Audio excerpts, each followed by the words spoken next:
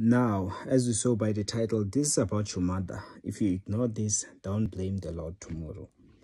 There are some things that we, if we are ignorant of, tomorrow backfires, we were warned, you know. Now, we you must understand that uh, it is a tough decision. Not necessarily your mother alone, but I'm trying to say in general, also you can look at it like your background. People have uh, different okay they might believe but you find that they don't believe fully. There are things that are done in the past by our parents. Some they will tell us some they won't. Some will just see. You must learn to stick to the truth. And what i mean is don't mix up your christianity. They might be christians but you find that they still even mixing things up some they do it even to this very day. I'm telling you what I know.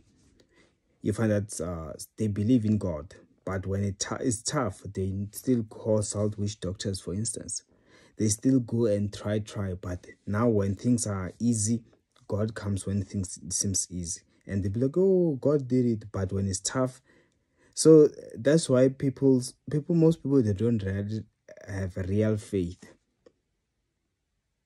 they just want to fit in into Christianity, but they know where they really believe. When it gets tough, extreme, they don't say, God, deliver me. If I perish, I perish like Daniel, Meshach, and Abednego.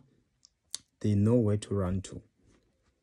And some of those things are still a hindrance into your life if you allow them. Choose the absolute truth. May the Lord bless you and help you in Jesus' name. Amen. And of course, that's all I had. My details on the comment section below. See you next time.